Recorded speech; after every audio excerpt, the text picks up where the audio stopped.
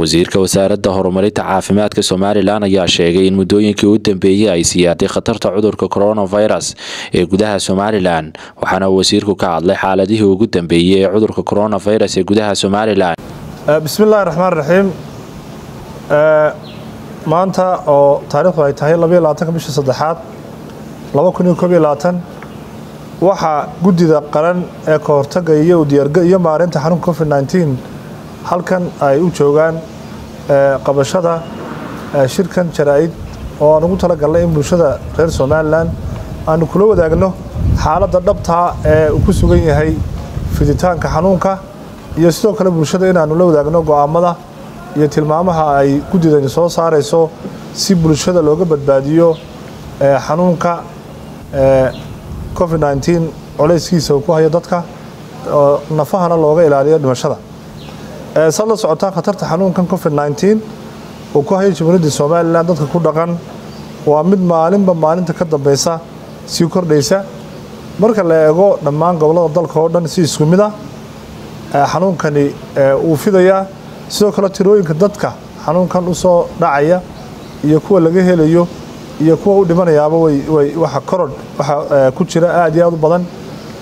Haddaynu markaa eegno bal tirooyinka dadkii xanuunkani u soo dhacay inta sanadkanu iyo intii la baadhay iyo inta u dhimatay bishii koowaad ee sanadkan haddaan eegno gobolka awdal waxaa la baadhay qof waxaa laga helay hal qof. Maroodijeex waxaa la baadhay iyo baa laga helay. Saaxil waxaa la baadhay qof qof lagama helin. Togdheer waxaa la baadhay qofaa laga helay. Sool waxaa la baadhay qof qofna lagama helin. Sanaag waxaa la baadhay sagaaliyo toban qof hal qofaa laga helay. Dhimashadu markaad eegto bisha koobaad ee sanadkan waxay ahayd gebigeeduba laba qof. Oo macnaheedu tahay in xanuunkani kor u kacay boqolkiiba hal dhimashaduna ay ahayd boqolkiiba saddex. Dadka la baadhay marka la eego. Bishii labaad ee sanadkan hadda dhammaatay korkacba markaa ku yimiday xanuunka. Marka laga reebo gobolka awdal gobolka maroodi jeex oo la baadhay afar kun saddex boqol iyo sideed soddon qof waxaa laga helay boqol iyo shan iyo sabaatan qof waxaana u dhintay toban qof. Saaxil waxaa laga helay laga baadhay boqol iyo shan iyo afartan saddex iyo labaatan baa laga helay hal qofna uu dhintay. Saas marka gobollada kalena isbeddel noocaasaa jiray. Marka waxaan dareemaynaa inuu bishii koowaad laga soo bilaabo ilaa tii labaadna uu isbeddelkaasi uu jiro. Dadka laga helaya xanuunku bishii labaad wuxuu kor u kacay boqolkiiba shan dhimashaduna waxay kor u kacday boqolkiiba lix. Oo macnaheedu tahay boqolkiiba saddex bay bishii hore ee koobaad dheeraad ka ahayd. Bishan aynu ku jirno oo aan weli dhammaanin oo maanta labayo labaatana. Waxaa dadka la baadhay gobolka awdal ay ahayd laba boqol iyo sideed iyo lixdan qof. Waxaa laga helay sagaal iyo soddon qof laba qof baa dhimasho ahaa gobolka maroodi jeex saddex kun iyo waxaa la baadhay qof.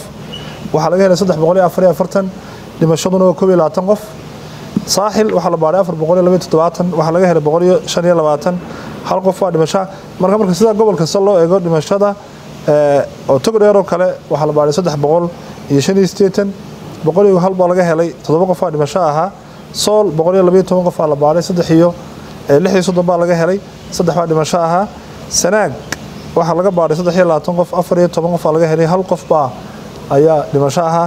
Marka la isku geeyo wadarta la baadhay bishan aan weli dhammaan waa qof. Inta laga helay waa qof. Dhimashaduna waa qof. Oo macnaheedu tahay xanuunka dadka u soo dhacaya ee laga helayo waxay kor u kacday boqolkiiba shan iyo toban. Dhimashaduna marka loo eego inta qofku ku dhacay waa boqolkiiba shan.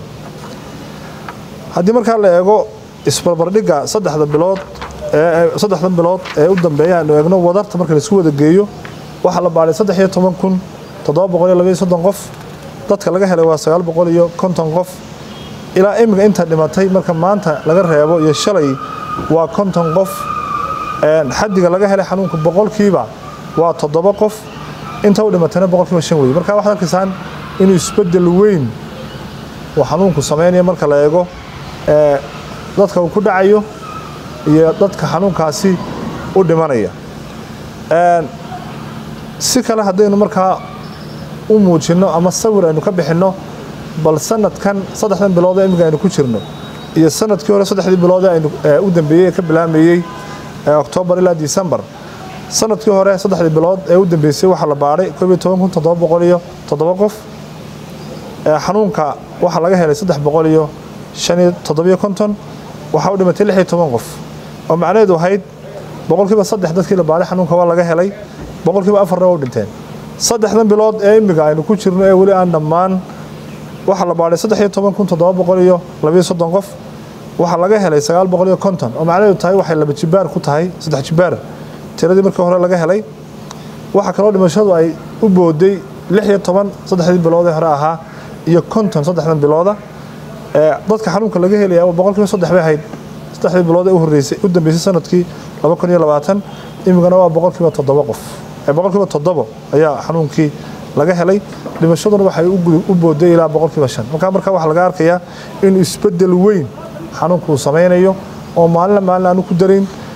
Dadka xanuunkan u soo dhacayaana ay u badan yihiin dadkii waaweynaa dadkii la noolaa xanuunada iyo dadka kale ee muxuu iyaguna qaybaha kale bulshada. Intaa markaan ka tagno haddaba walaale xaaladda xanuunka ee dalkeennu haatanu marayo haddii aynaan si deg dega wax uga qabanin waxaa iman karta inaynu galno marxalad ay taladu faraha ka baxdo taasoo halis gelin karta qof kastaoo muwaadina keeni kartana in dhaqdhaqaaqii dhaqaalaha iyo isku socodkii dadka iyo noloshu adkaato. Haddaba si aan arrintaasi aana u dhicin guddida qaran ee ka iyo maareynta xanuunku waxay iyagoo ka duulaya khatarta uu bulshada jamhuuriyadda somalilan ku hayo nooca cusub ee xanuunka covid nneteen khatartaasi oo maalinba maalinta ka dambeysa sii kordhaysa iyagoo si qoto dheer ugu kuurgalay halista ka dhalatay labakaclaynta wejiga cusub ee xanuunka iyo waxyeeladiisa dhimasho iyo bukaanba ee uu leeyahay ee xanuunkan uu keenayo iyo culayska uu ku hayn karo ee bulshada iyo iyadoo la eegayo mudnaanta koowaadna la siinayo badqabka iyo badbaadada iyo fayadhowrka caafimaadka bulshada reer somalilan iyada oo ahmiyadda koowaad la siinayo si kasta oo loogu hortegi karo loona yareyn karo faafitaanka xanuunka ee bulshada dhexdiisa iyada oo aan ogsoonnahay inay weli jirto khatarta uu xanuunka covid nneteen bulshada dhexdeeda ku faafi karo ummaddana si weyn ugu adkaynaysa inuu qof walbaa muujiyo taxadir iyo mas'uuliyad dheeraada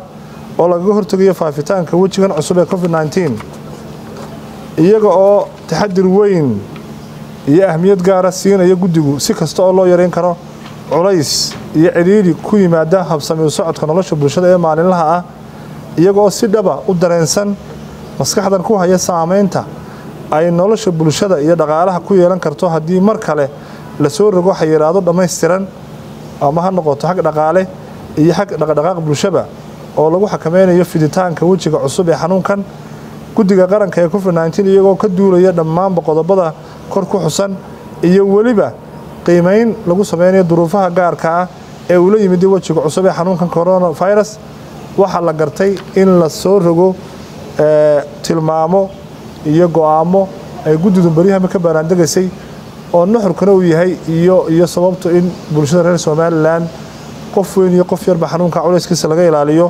Go'aamo ah. Go'aamadana waxaan u dhaafayaa wasiirka wasaaradda diintii awqaafta. Xariirka wasaar telefishinka star hargeysa